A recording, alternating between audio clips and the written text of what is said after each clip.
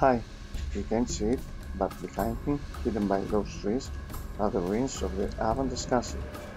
Find the clues for the trading card at the following price.